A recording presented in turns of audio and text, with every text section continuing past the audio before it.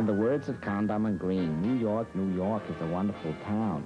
It's also my major source of income since nobody outside Manhattan goes to see my movies. I, I mean, I can't believe this is happening.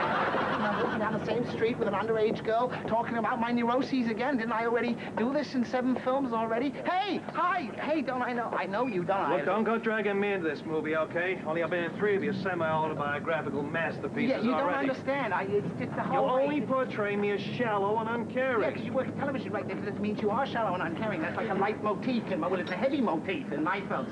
It's quite straightforward. The moment Mia Farrow or Diane Keaton or uh, Margot Hemingway. Margot Hemingway is going to tell I'm going to fall deeply in love with her. We're going to have great sex, and then we're going to move to Hamptons. And then she goes away for six months, and when she comes back, she she marries you. You've done it six or seven times. Will you listen? I can't listen. I'm generally incapable of listening. I can talk a lot. That's, that's what I do. I always talk. Taxi! Hey, hey, hey! uh, Eat something. You look too thin. I can't believe I said that. I sound just like my mother when I say that.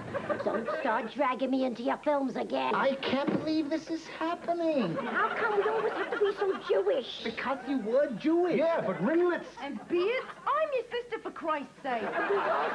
Well, why are we always eating? I can't believe this is happening. Will you stop saying that? I can't believe this is happening. It's extremely predictable this is happening. It happens in every film you do. How can you say that? I don't believe I'm hearing this.